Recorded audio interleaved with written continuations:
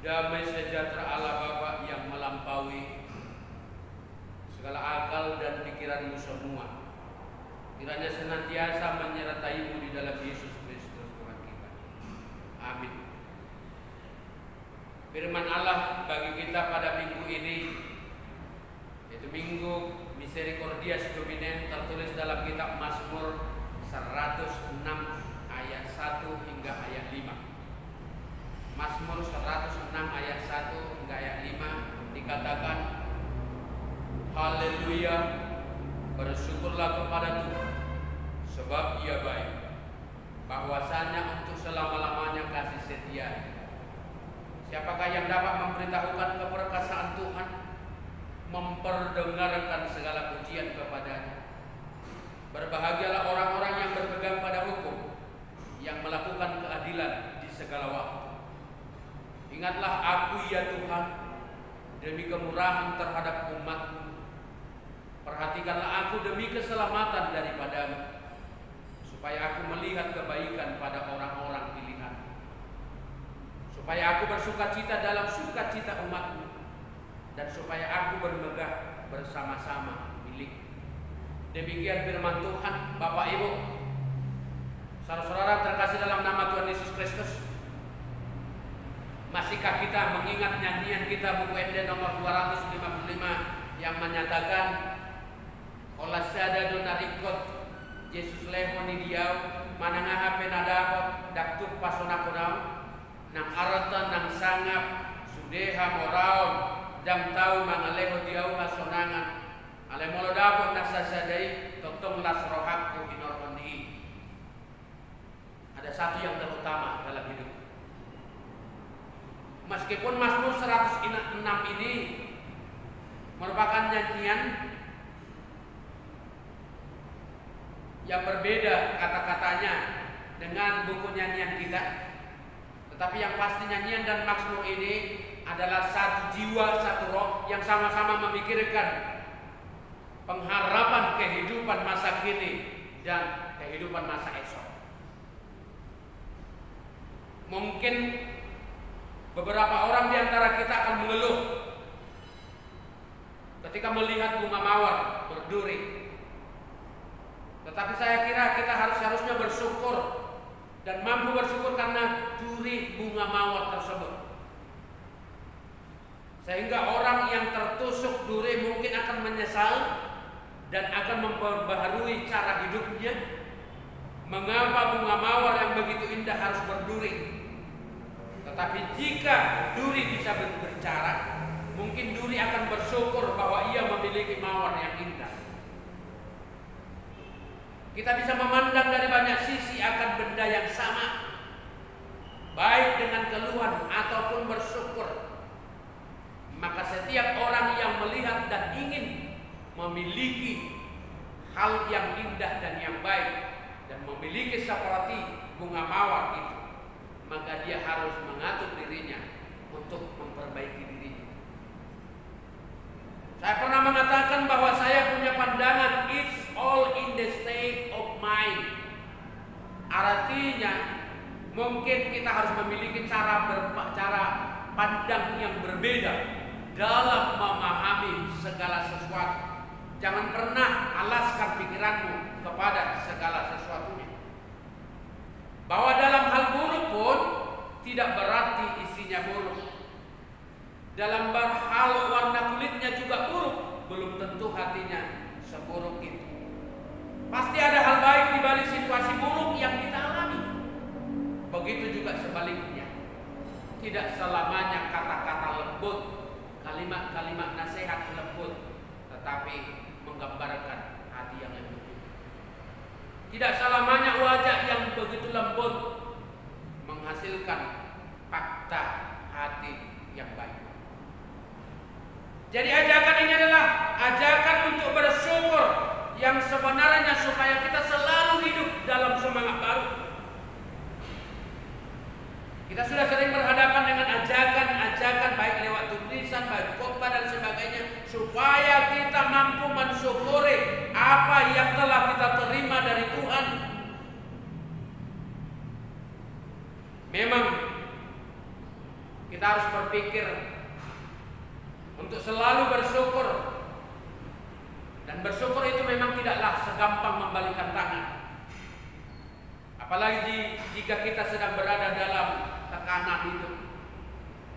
Yang lebih ironis lagi, banyak orang yang mau berusaha mencari Tuhan, tetapi ketika mereka hanya sedang membutuhkan saja. Ketika ingin mencari yang terbaik, mencari Tuhan, tetapi susah untuk bersyukur, susah untuk berkorban. Ya. Namun lupa untuk bersyukur saat mereka diberkati. Jadi banyak orang memandang bahwasanya apa yang telah diberikan Tuhan itu hanyalah sebagai tanggung jawab Tuhan, tetapi dia tidak melihat bagaimana tanggung jawab dirinya untuk memuliakan Tuhan. Jadi sehingga memandang bahwa apa yang Tuhan perbuat itu baik mujizat hanyalah datang dari hal-hal yang bombastis saja. Seperti orang sakit parah disembuhkan, orang-orang lumpuh berjalan, orang buta melihat, bahkan orang mati dibangkitkan itu adalah karena Tuhan memiliki kekuatan. Padahal ketika kita masih memiliki kesehatan dan kemampuan untuk berjuang di tengah kesulitan, itu pun merupakan mujizat dan berkat yang berasal dari Tuhan. Yang pantas untuk disyukuri. Begitu sulitnya pribadi-pribadi zaman ini untuk mengucap syukur walau di masa-masa sulit. Sehingga ada orang yang berusaha mengucap syukur namun terbatas hanya pada kata-kata saja. Medok mau lihat atau mau lihat mamang 3M. Tidak didasarkan pada hati yang benar. Karena itu Alkitab pun mencatat banyak sekali nasihat untuk mengucap syukur dalam segala hal. Salah satunya yang kita jadikan ayat ini menjadi kalimat yang rasanya tidak tidak tidak asing lagi dalam kehidupan kita. Haleluya. Bersyukurlah kepada Tuhan sebab Ia baik. Bahwasanya untuk selama-lamanya kasih setianya. Dan kalimat ini pun sudah berulang-ulang kali dikatakan dalam Alkitab yang menuntut kita supaya mampu mengucap syukur dari segala sesuatu yang telah kita terima. Kenapa kita susah dan pelit mengucap syukur? Kalimat ini tuliskan juga bahkan di kitab Tawarik dan Jeremia. Saya yakin Tuhan menyadari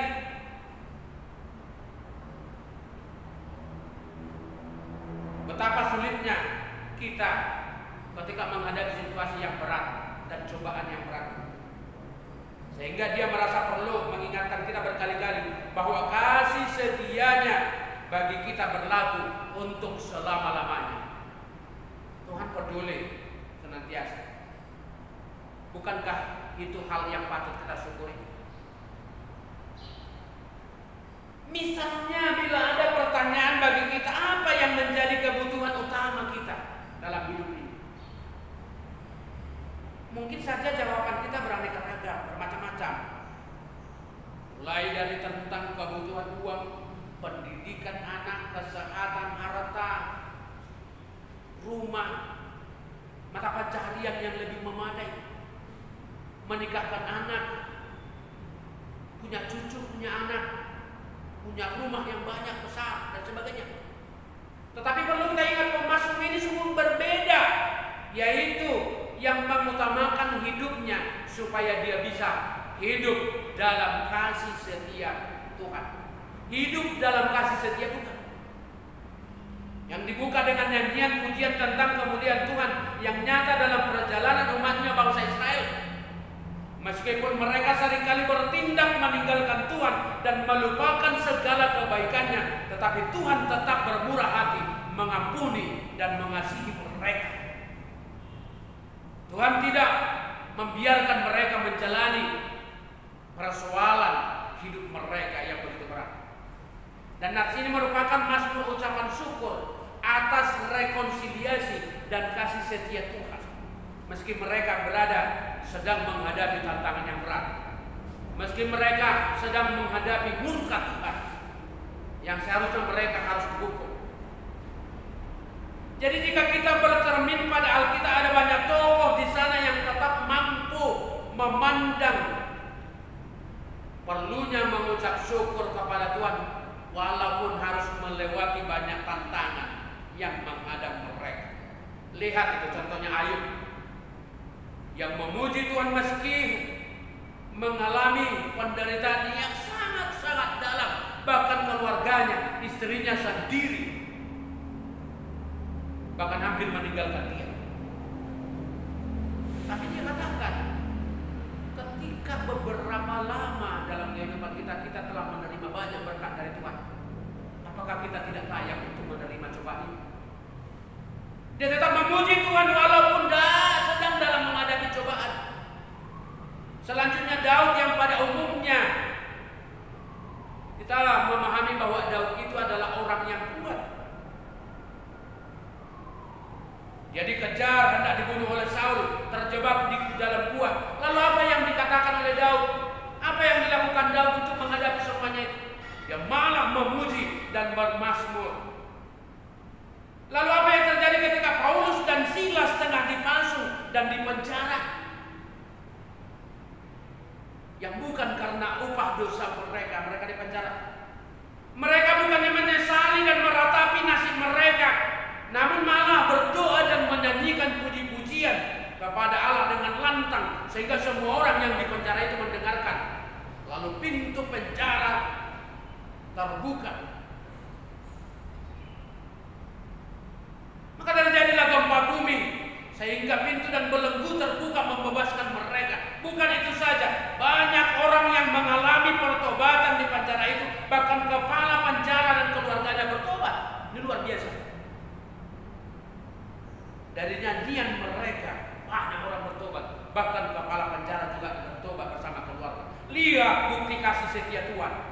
Dia menyertai segala segala hal, menyertai kita baik dalam tantangan yang berat sekalipun. Tidak ada yang perlu kita takutkan. Yang harus kita lakukan adalah tetaplah mengucap syukur dan lantunkan puji-pujian kemuliaan Tuhan. We are never alone, even in the best trouble. Kita tidak akan pernah sendiri meskipun kita sedang di dalam masalah besar. Tuhan selalu melihat dan peduli sama kita. Pengenalan mereka terhadap Tuhan yang menaikkan semangat iman bangsa itu dan berharap ada kehidupan yang baru melalui perjanjian yang baru pula. Jadi sehingga dengan menyanyikan pujian syukur mereka memiliki semangat untuk keluar dari rasa ketakutan mereka, rasa duka mereka tidak terlelap dalam penderitaan itu. Dengan menyanyikan pujian syukur mereka terbebaskan dari jerih payah. Semangat iman baru inilah yang menjadikan mereka bertahan dan tidak semakin jauh dalam perkabungan Tuhan maha murah dan setia selamanya. Yang menarik ketika kita mengenal Tuhan, langsung bersyukur memuji atas kasih setianya yang abadi. Maka kita berdoa, mewartakan seluruh perbuatan kebaikannya, memuliakan namanya yang membebaskan umatnya dari perbudakan, sehingga tetap mendapatkan berkat dan sukacita dari Tuhan. Itulah alasannya dia dua, pembaca diingatkan tentang kekuatan tentang keperkasaan Tuhan dan yang paling nyata dari semua gambaran tentang dia adalah keperkasaannya sehingga setiap orang yang setia melakukan perintahnya melakukan keadilan maka ia akan mendapat kebahagiaan itu. Itulah alasannya.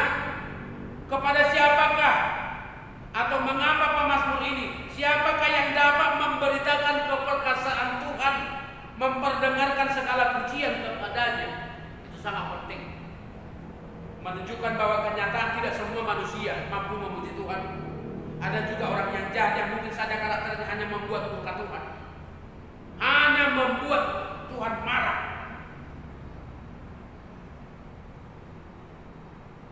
Tentu saja yang dikatakan dalam nas ini ayat 2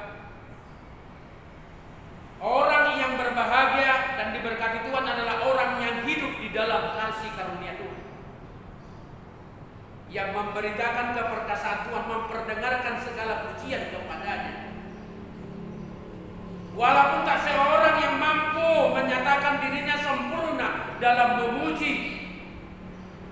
Tuhan dan mempersembahkan seluruh hidupnya hanya untuk memuliakan Tuhan. Tetapi setidaknya memuji Tuhan itu adalah mempersembahkan hidup dan memuliakannya melalui nyanyian kita setiap hari. Wajar bila kita memandang kita belum layak dan merasa masih kurang di hadapan Tuhan. Tetapi ada satu hal yang bisa kita syukuri hari ini. Kita memahami kelemahan kita, namun kita masih memiliki keberanian percaya dan menyenangkan hati Tuhan dari perbuatan kita memuji dan mengucap syukur. Meskipun pujian kita belum sempurna, mungkin hanya sekedar kata-kata, menyatakan berbahagialah orang-orang yang berpegang pada hukum yang melakukan keadilan di segala waktu. Artinya, pujian kita untuk taat kepada Tuhan tidak bisa dipisahkan dengan wajib melakukan kebenaran, wajib melakukan keadilan, mewartakan kebaikan Tuhan itu sendiri. Dan kita tak akan mungkin melakukan kebenaran dan keadilan serta mentaati perintahnya jika tidak ada niat untuk memuji memuliakan Tuhan dengan perbuatan baik kita. Hanya dengan perbuatan kita. Apa yang diberikan Tuhan bagi kita sebenarnya adalah baik. Walaupun itu adalah cobaan.